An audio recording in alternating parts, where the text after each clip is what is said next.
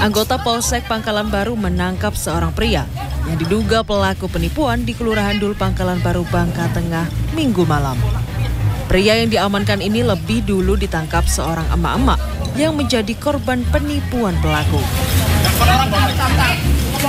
Modusnya pelaku meminta transfer uang 2 juta rupiah lalu melarikan diri dengan sepeda motor.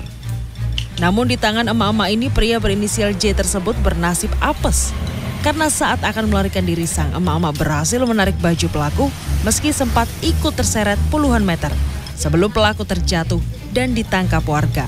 Kan pas sepi kan, habis itu dia datang dan nanya, yuk bisa TF nggak? Bisa kan, gue bilang. Rekening apa? Bank mana? Bank BCA.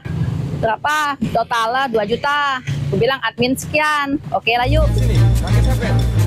Setelah diusut, pelaku ternyata telah beraksi di empat lokasi di wilayah kota Pangkal Pinang dengan modus serupa.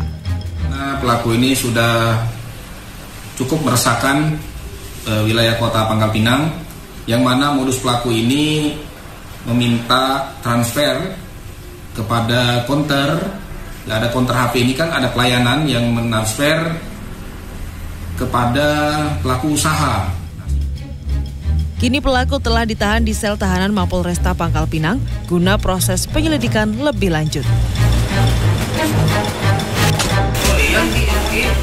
Berhati-hatilah Anda dengan iklan pinjaman uang di media sosial yang bisa membuat Anda tertipu. Seperti yang dialami pria paruh baya di kota Sukabumi, Jawa Barat, korban yang sedang butuh uang ini tergiur dengan pinjaman sejumlah uang yang ditawarkan media sosial.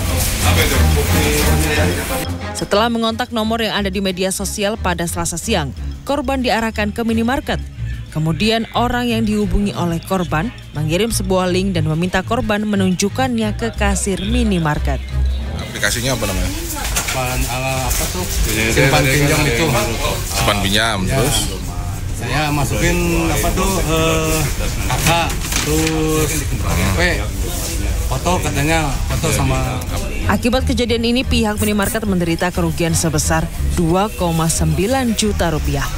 Kasus ini pun masih dalam penyelidikan unit reskrim Polsek Sukaraja. Ya? Tim Liputan CNN Indonesia.